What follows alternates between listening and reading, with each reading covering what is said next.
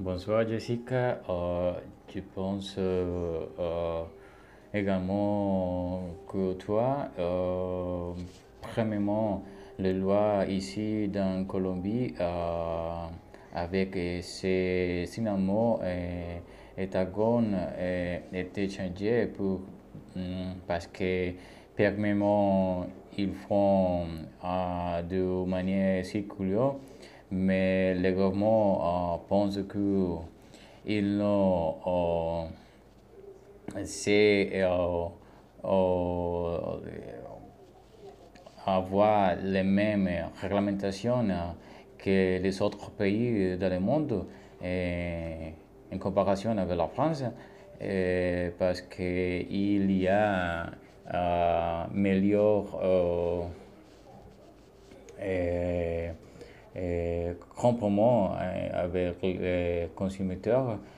et tous les relationnés avec la denrées alimentaires. Et premièrement, que, euh, avec la, les ingrédients euh, comme le sucre et le gaz.